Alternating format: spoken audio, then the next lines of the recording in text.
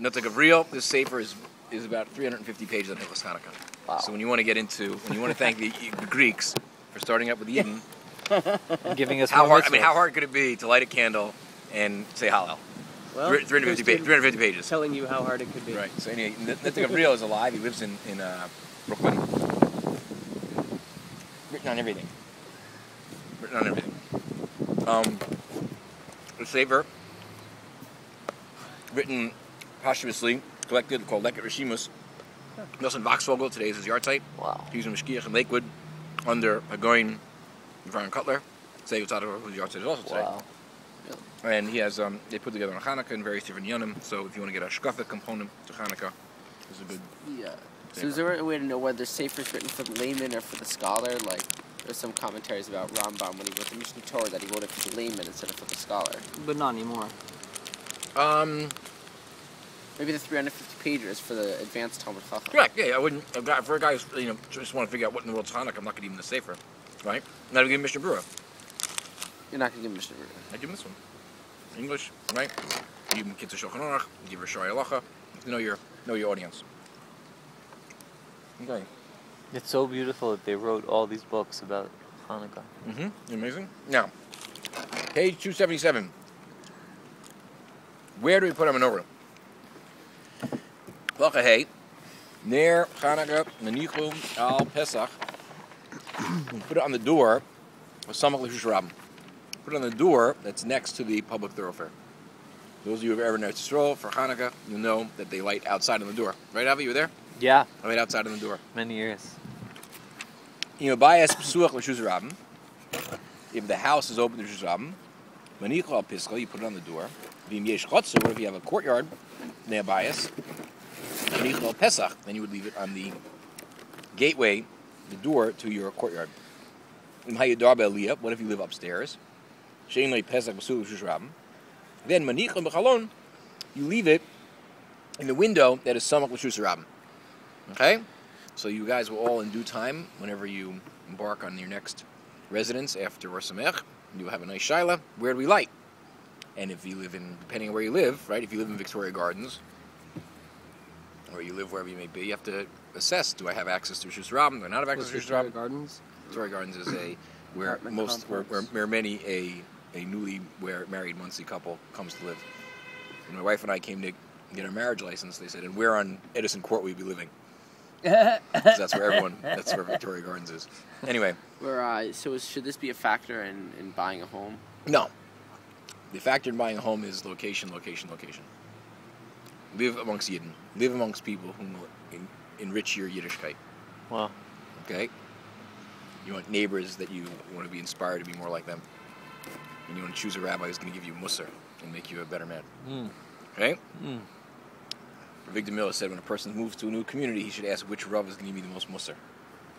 In the world, you won't hear that from many people in the world, but that's what I'm telling you. If you're serious about getting better, Wow. then you're serious about getting better.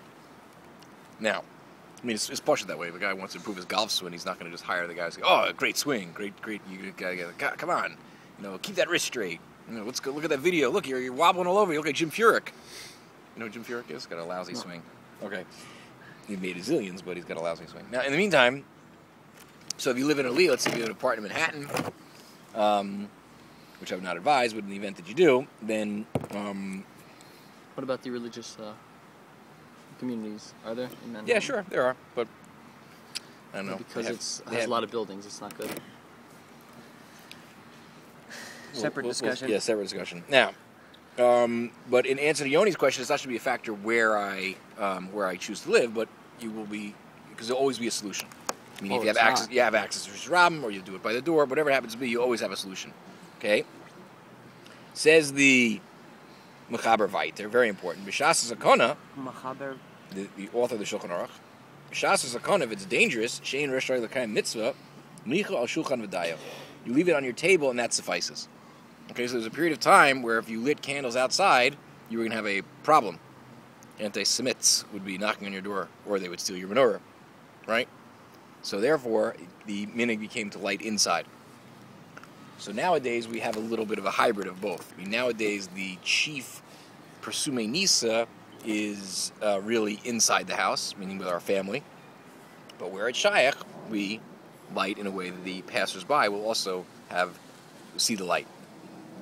See them. In, I don't mean you know, ashkavic see the light. I mean Well, see- every every mitzvah that we that's done in the house is pirsumei nisa within the home. This is clearly a different differentiation that they want you to express it other express it to the public. I will, I will take it. pursuing I, nisa every Friday night dinner. That's not a dinner pursuing Within the home, What it. What nace? What nace are you celebrating? That Shabbos created the that Hashem created the world in seven days. I don't know if it's a, it's a pirsumei nisa. Pirsumei nisa. I'm saying if, if you're going to argue that pirsumei nisa in this case is only done within the home, then why doesn't it use the term pirsumei nisa for any other mitzvah inside the That's what? I'm telling you. That pirsumei nisa is a, a, a term which is has halachic ramifications that is reserved for certain mitzvahs, i.e., let's say kriyas and Megillah, these type of things. And not every not every everything that I do, you know, when I, I hang mezuzah on my door or I put on tefillin is pirsumei nisa, correct? Maybe a zeichet use Mitzrayim. I, speaking of um, nisa, today, second day of Kislev, Hitler, Yamach Shemo, was expelled from Casablanca. So they have a Purim de Casablanca. Hmm. And someone wrote a uh, Megillus Hitler. Hmm. says it has a whole cursed as him and cursed as Mussolini and cursed as it's interesting. So does the the Jewish people accept that? There is a concept that in halacha that if one is privy to an nace at such, such a magnitude that they should celebrate a Purim. There are a lot of other Purims in that that y- local communities will celebrate. Isn't it the Algiers opposite of a ness? was the opposite Because they were saved in, uh, in uh, what's it, in, in uh, Purim, but in uh, The with Holocaust. Hitler they weren't saved. They were, you know, Six million died. yeah, six million died, and then he was beaten, not by, you know, ness. What's the basis I'm saying for creating a Purim? Is that for, this town, this town was was spared, right? Whoever the right the specific town? correct. So they're gonna in party general as their the fellow Jewish people. Jews' blood is spilled. It's a very good question. Why, like, sorry, No, no. I, the the wars that we won in Right. Israel, Mhm. w- we could. Milchemet Shichrur. I mean, these are these are supernatural nisim gluim. The numbers don't add up. I mean, there are certain there are certain groups Why that, not? That do say Hallel on Yom Ha'atzmaut. Yeah, but that's not a whole holiday. In I other words, understand. So it's, it's, it's, it's something which a community takes on. You know, there's whatever. There's histories around around around other time. You'll see. They'll tell you a lot of the, the various different Purims that different communities took on. at what time?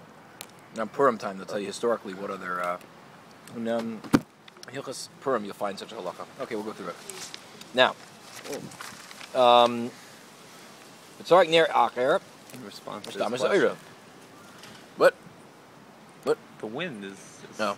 part of the shiur. Zarek ner acher, you need another light, l'shtamish the oiro. You need another candle to utilize the light.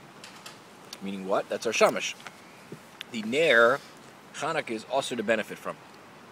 So even on the first day, you need really need two candles. Correct.